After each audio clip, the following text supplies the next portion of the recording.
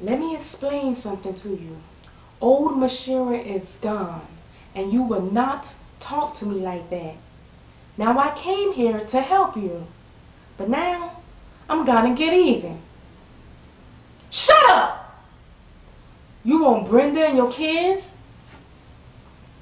She didn't care about you, Charles. She told them to let you die. I was your wife. I loved you. I never would have hurt you. Why did you do this to me? To us?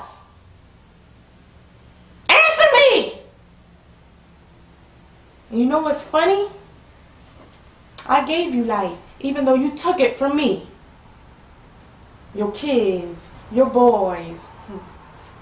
I wanted children, Charles, and had you not been with those horrors, we would have them.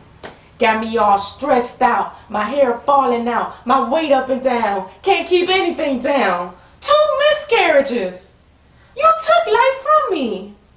And you never even